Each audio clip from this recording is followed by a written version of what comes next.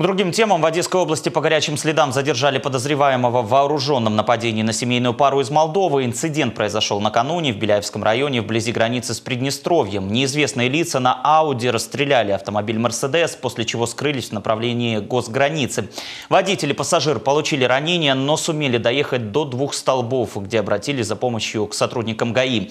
Правоохранители отвезли пострадавших в больницу, однако по дороге от полученных ранений женщина скончалась. По данному факту открыто уголовное производство.